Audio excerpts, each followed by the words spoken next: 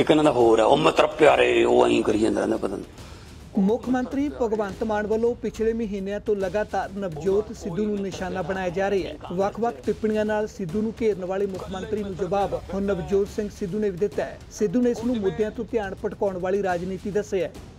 ਇੱਕ ਇਹਨਾਂ ਦਾ ਹੋਰ ਆ ਉਹ ਮਤਰ ਪਿਆਰੇ ਉਹ ਐਂ ਕਰੀ ਜਾਂਦਾ ਰਹਿੰਦਾ ਪਤਾ ਨਹੀਂ ਉਹ ਮਿੱਤਰ ਪਿਆਰੇ ਲੈ ਦੱਸ। ਉਹਦਾ ਕੋਈ ਮਿੱਤਰ ਪਿਆਰਾ ਹੈ ਨਹੀਂ ਕਾਂਗਰਸ 'ਚ। ਕੱਲੇ ਹੀ ਮਿੱਤਰ ਪਿਆਰਾ ਫਿਰਦਾ ਹੈ।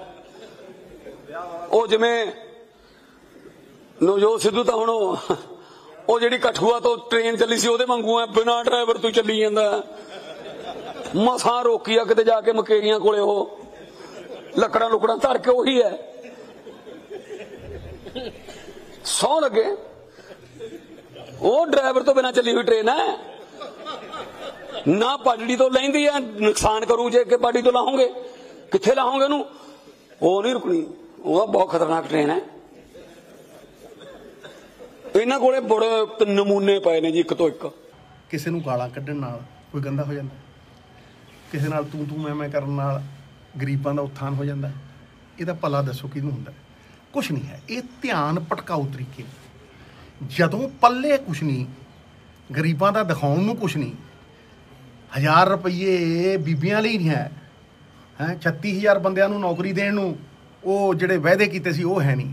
ਜਦੋਂ ਪੀਪੀਏ ਕੈਨਸਲ ਨਹੀਂ ਹੋਏ, ਜਦੋਂ 올ਡ ਪੈਨਸ਼ਨ ਸਕੀਮ ਦਿੱਤੀ ਨਹੀਂ ਗਈ, ਠੀਕ ਹੈ ਕਿ ਨਹੀਂ?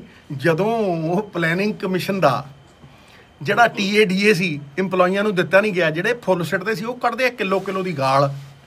ਤੇ ਫਿਰ ਜਦੋਂ ਵਿਧਾਨ ਸਭਾ 'ਚ ਜਾਂਦੇ ਆ, ਉੱਥੇ ਇੱਕ ਦੂਜੇ ਨਾਲ ਤੂੰ ਤੂੰ ਮੈਂ ਮੈਂ ਕਰਕੇ ਇੱਕ ਮੱਛੀ ਮਾਰਕੀਟ ਦਾ ਸੀਨ ਕ੍ਰੀਏਟ ਕੀਤਾ ਜਾਂਦਾ ਹੈ ਔਰ ਅਸਲੀ ਮੁੱਦਿਆਂ ਤੋਂ ਭਟਕਾਇਆ ਜਾਂਦਾ ਹੈ।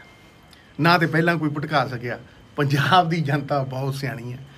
ਉਹ ਪਾਲਿਸੀਆਂ ਨੂੰ ਵੋਟਾਂ ਪਾਉਣਗੇ ਤੇ ਇਹ ਬੇਵਕੂਫ ਬਣਾ ਕੇ ਲੋਕਾਂ ਦਾ, ਉਹਨਾਂ ਨੂੰ ਝੂਠ ਵੇਚ ਕੇ, ਝੂਠੇ ਸੁਪਨੇ ਦਿਖਾ ਕੇ ਤੁਸੀਂ ਇੱਕ ਵਾਰ ਤਾਂ ਵੋਟਾਂ ਲੈ ਲਓਗੇ, ਪਰ ਇਹਨੂੰ ਬਰਕਰਾਰ ਨਹੀਂ ਰੱਖ ਸਕਦੇ। ਕਿਰਦਾਰ ਦੇਖਣਗੇ ਲੋਕ ਇਮੇਜ ਦੇਖਣਗੇ ਲੋਕ ਕ੍ਰੈਡੀਬਿਲਿਟੀ ਦੇਖਣਗੇ ਲੋਕ, ਧੰਦਾ ਕਰਨ ਵਾਲਿਆਂ ਨੂੰ ਚਿਪੜ ਦੇਣਗੇ ਲੋਕ। ਮੈਂ ਤੁਹਾਨੂੰ ਅੱਜ ਦੱਸ ਦਿੰਦਾ ਹਾਂ।